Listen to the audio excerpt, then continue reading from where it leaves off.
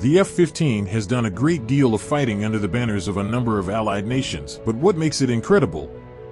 It's a legendary air superiority platform with an air-to-air record of 104 kills with zero losses and with a top speed of Mach 2.5.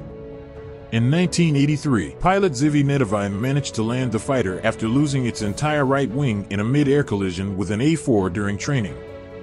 He was losing fuel and couldn't see he had lost a wing, but chose to land at an airstrip 10 miles away. To keep the aircraft stable, Nedivi had to maintain a high airspeed using afterburners. He approached the strip at 260 knots, twice the recommended landing speed, and stopped in time without a tailhook.